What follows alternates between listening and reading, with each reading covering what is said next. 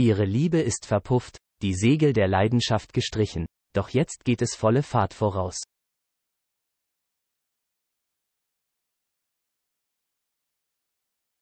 Nach Simone Tomalas, 57. Trennung von ihrem Partner DJ Nicolino Hermano, 56, zeigt sich die frühere Tatort-Kommissarin an der Seite von TV-Kapitän Florian Silbereisen, 41.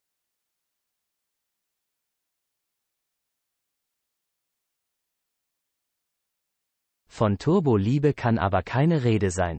Auf ihrem Instagram-Profil teilte die Schauspielerin ein Selfie mit dem Ex-Partner von Helene Fischer, 38.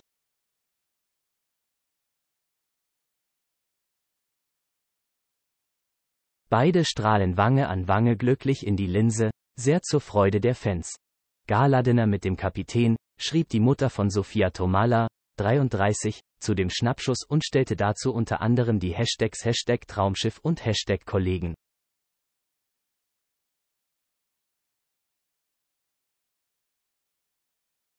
Damit sorgte die 57-Jährige direkt dafür, dass keine Spekulationen aufkeimen oder Gerüchte über einen neuen Partner in den sozialen Netzwerken wabern.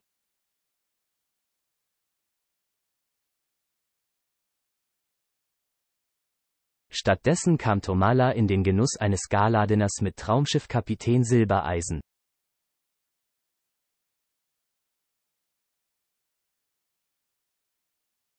Alter ist eben nur eine Zahl.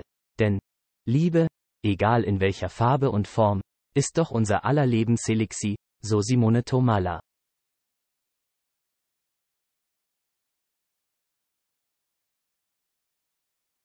Ihr Schauspielkollege Kai Schumann, 46, Rex Gildo, der letzte Tanz wollte es im Kommentarbereich genauer wissen und fragte, wohin die Reise geht.